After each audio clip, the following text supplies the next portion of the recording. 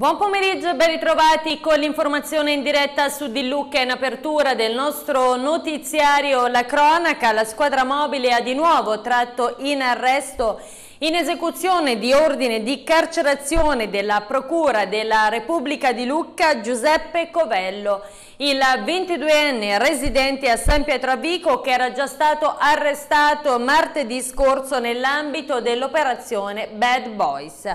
Gli agenti hanno notificato al giovane un ulteriore provvedimento ad un anno e sette mesi di carcere per reati contro il patrimonio commessi nel 2011 a Lucca. E sempre la squadra mobile della Questura di Lucca ha denunciato una 53enne di Firenze per il reato di violazione della privacy ed ingiurie.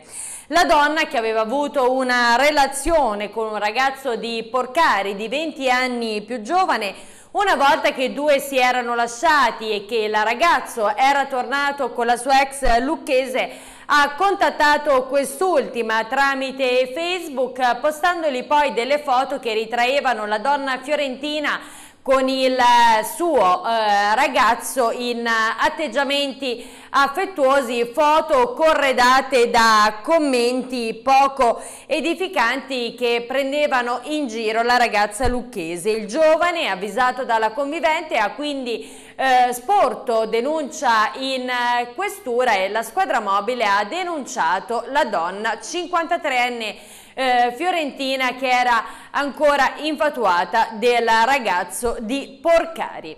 E chiudiamo con la cronaca e parliamo di viabilità nella piana ed in particolare torniamo ad occuparci degli assi viari. Mercoledì si è tenuta un'importante riunione in provincia, ci sono delle novità, andiamo a sentire quali nel nostro servizio.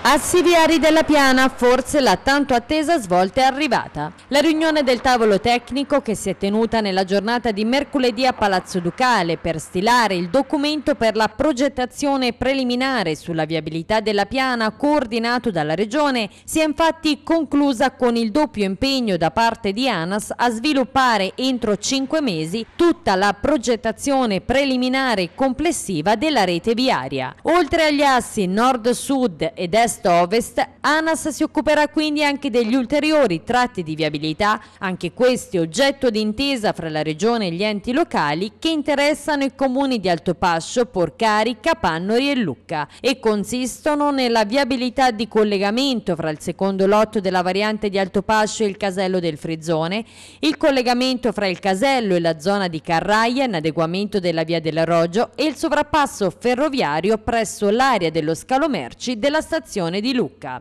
Il progetto preliminare sarà poi presentato al CIPE per l'individuazione della copertura finanziaria. Nel caso che con il finanziamento reso disponibile dallo Stato non si dovesse riuscire a coprire l'intero intervento, la Regione, ha affermato il Presidente della provincia Stefano Baccelli, si impegnerà a trovare con l'intesa degli enti locali ulteriori risorse di finanziamento per il completamento degli interventi. Il documento approvato dal tavolo tecnico Tecnico contiene inoltre una serie di indicazioni che si basano su un complesso studio territoriale effettuato dall'amministrazione provinciale, che ha svolto un'attenta lettura del territorio in modo da rilevare i principali elementi da salvaguardare e o valorizzare, così da indirizzare ANAS verso la progettazione di un'infrastruttura che nasca integrata con un territorio fortemente antropizzato e che presenta rilevanti caratteristiche storiche economiche, ambientali e paesaggistiche. Il comune di Alto Pascio si schiera per i diritti civili. Il sindaco Maurizio Marchetti ha infatti accolto la richiesta dei consiglieri comunali dei giovani democratici Sara D'Ambrosio e Daniel Toci e domani esporrà all'esterno del municipio la bandiera Rainbow come segnale di solidarietà e condivisione della battaglia per i diritti civili e contro le discriminazioni anche dell'identità sessuale di qualunque cittadino proprio nella giornata della Toscana Pride. E torniamo adesso a Palazzo Ducale dove ieri il presidente della provincia Stefano Baccelli ha illustrato i temi delle candidature al bando europeo per la cooperazione Italia-Francia. Per i progetti sul territorio chiesti alla comunità europea 3 milioni di euro da investire anche nelle infrastrutture. Marco Baldocchi. La provincia di Lucca ci riprova. Dopo aver portato sul territorio 10 milioni di euro nel passato mandato elettorale, frutto dei fondi europei, ecco presentate altre candidature al bando per la cooperazione Italia-Francia, che potrebbero portare ulteriori 3 milioni di euro in provincia di Lucca. Sì, noi l'abbiamo visto per tempo, che occorreva oltre ai partner tradizionali, la Regione Toscana piuttosto che le fondazioni bancarie, cercare risorse anche nei confronti dell'Unione Europea. Questo diventa ancora più cruciale in un periodo di scarse risorse economiche per gli enti locali e anche per lo stesso governo nazionale. Eh, portiamo a casa, ci auguriamo, risultati che sono il frutto del lavoro di anni dell'Ufficio Europa della provincia. Nel primo mandato amministrativo qualcosa come 10 milioni di euro utilizzati per lo sviluppo economico, per la cultura, per il turismo. Occorre presentare progetti interessanti per il nostro territorio per la nostra comunità, ma anche coerenti rispetto alla programmazione europea e quindi ai partner, in questo caso i partner francesi, ma anche i partner delle, della regione Liguria e della regione Sardegna. Ecco, questi sono bandi particolarmente interessanti perché il 70% poi si può eh, sviluppare proprio sulle infrastrutture. Sì, la novità rispetto alla partita precedente dei bandi europei, che era più dedicata diciamo, a studi, ricerche, implementazione di servizi di rete, è la chance di intervenire in infrastrutture. Per questo il progetto rispetto alle riqualificazioni delle stazioni lungo la, la Lucca Ulla, il gate elettronico sullo scalo merci mh, di Capanno di Porcari, ma anche l'intervento sulla pieve di Montecatino abbiamo cercato insomma, di presentare dei progetti che possano facilmente trasformarsi in occasioni di lavoro.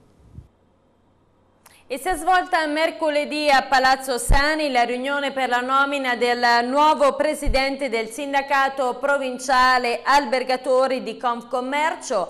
La scelta è ricaduta su Pietro Bonino, titolare dell'hotel alla Corte degli Angeli e dell'albergo San Martino nel cuore del centro storico del capoluogo.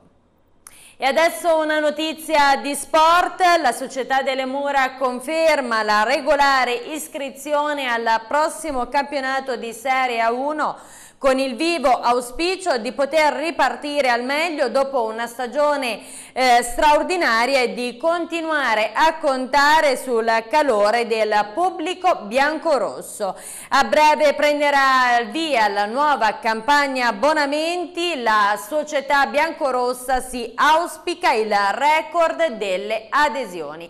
Maggiori dettagli sulle squadre che si sono iscritte al campionato di Serie A1 e notizie in merito alle mura questa sera nell'edizione delle 19 del nostro telegiornale. Per questa edizione è tutto, grazie per averci seguito e a tutti voi una buona giornata.